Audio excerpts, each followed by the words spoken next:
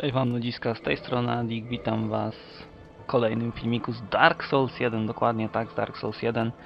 Czy ktoś z was przypuszczałby, że grę można skończyć już zaraz po pokonaniu Orsteina i Smoga? Jeżeli nie, to musicie zobaczyć ten poradnik, jak zrobić tak zwanego clean skipa. Wystarczy pokonać, tak jak już wcześniej mówiłem, Orsteina i Smoga, czyli jesteśmy mniej więcej w połowie gry. Musimy zabrać naczynie władców, tak jak widzicie, leży już położone. I co teraz wystarczy zrobić? Wystarczy tepnąć się do ogniska, obojętnie jakiego ogniska i w momencie loading screena, w odpowiednim momencie pod koniec tego loading screena nacisnąć Alt F4, wyłączyć grę, przeładować save'a. Czasami to nie wychodzi, tak jak tutaj zobaczycie, za pierwszym razem mi się nie uda, taki spoiler, już dla was. Ale po kilku razach gdy ktoś już nabierze wprawy, zobaczy takie elementy szczególne tego momentu, gdy należy wyłączyć grę, to nie będzie to sprawiało większego problemu.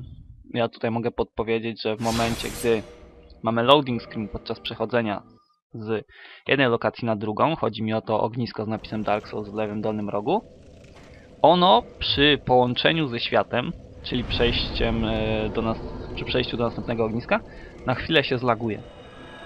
I podczas właśnie tego zlagowania należy nacisnąć Alt F4, wyłączyć grę, włączyć jeszcze raz, tak jak widzicie tutaj teraz to. I co dalej? Włączyć Dark Souls. Pojawicie się po drugiej stronie drzwi. I to jest taki... Możecie to wykorzystać w dwa sposoby. Możecie skończyć grę zabijając Gwyna.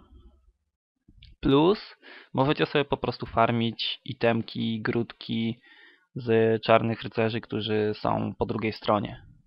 To już zależy od was, jeżeli ktoś nie chce tak jakby na, za bardzo nadużywać i kończyć gry, to może sobie po prostu farmić bronię czarnych rycerzy.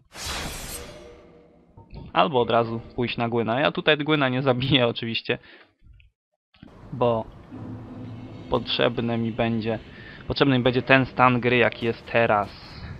Możliwe do jeszcze jednego materiału. Więc no nie mógłbym skończyć gry. Jak widzicie, po drugiej stronie jesteśmy bez żadnych problemów. Wystarczyło pokonać tylko Orsteina i Smoga, teraz możemy lecieć prosto na Gwyna.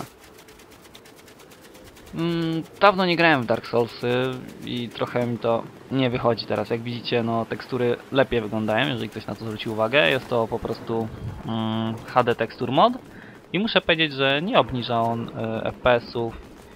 Dużo lepiej wygląda Dark Souls i polecam go jak najbardziej. On zawsze, zawsze musi mnie uderzyć. No i Gwyn. Możecie go zabić, nie musicie. Jeżeli zginiecie, pojawicie się w ognisku przed drzwiami. Także nie ma strachu, co się stanie, jeżeli zginę. I to było wszystko w tym materiale. Do usłyszenia w następnym, możliwe z Warframe'a, możliwe z Dark Soulsa. Nie wiem, zobaczymy. Zapraszam również na moje streamy na Twitchu codziennie od godziny 18, czasami nawet szybciej.